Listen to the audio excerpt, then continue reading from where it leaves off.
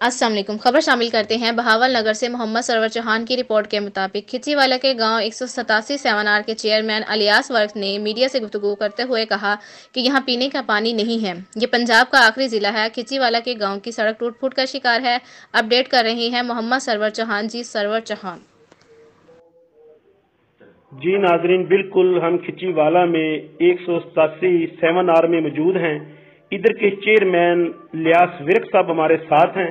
इनसे हम जानते हैं, इलाके के मसाइल के बारे में क्या कहते हैं जी। जी सर, बताइएगा। जी, बिस्मिल्लाहिर्रहमानिर्रहीम। आपने इलाके के मसाइल को पूछा है एन एक सौ उनहत्तर है, ये जहाँ जिस हल्के में बैठा हूँ, और पीपी दो सौ चौतालीस है फोर्ट अब्बास का। यहाँ ये बारडा अपना पंजाब का आखिरी तहसील है, और डिस्ट्रिक्ट भी पंजाब का आखिरी है।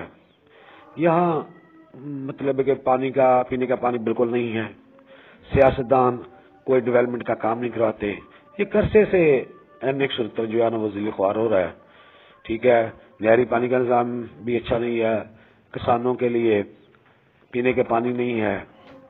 और ये मेरा जो खिचवाला शहर है, बड़े से, बड़े अरसे से सियासतदान जो है ना, वो इसी चीज़ पे सियासत कर रहे हैं खिचवाला में कि हम सीवरेज लेके आएँगे, हम मतलब बड़ी अच्छी वाटर सप्लाई लेके आएँगे। लेकिन 20-25 सालों में खिचवाला शहर में पीने का पानी भी नहीं है और ना ही सीवरेज अभी तक किसी ने बनाया है जो आता है इलेक्शन लड़ के चला जाता है। जी सर विरक साहब इस वक्त तो आप इकतदार में हैं चौधरी परवेज लाई साहब भी हैं तो आप इकतदार में तो हैं पंजाब में तो आपने कभी कहा नहीं उन्हें? तहर बशीर चीमा साहब भी हैं। जी देखे हर बंदा अपने हल्के में काम करवाता है। चौरी बरादरान जिस वक्त सीएम थे पूरे पंजाब में काम हुए ये तरीकी काम हुए हैं।